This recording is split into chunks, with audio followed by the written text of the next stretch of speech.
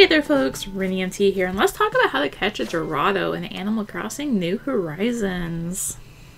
So Dorados can be found in the river as an extra large shadow between the hours of 4 a.m. and 9 p.m. In the Northern Hemisphere it's available from June until September, and in the Southern Hemisphere it's available from December until March. If you want to sell them, they are worth 15,000 bells.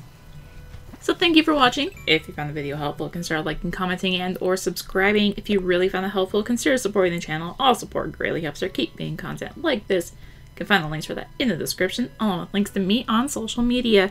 So thank you again for watching, and until next time, this is Rini MT, signing out.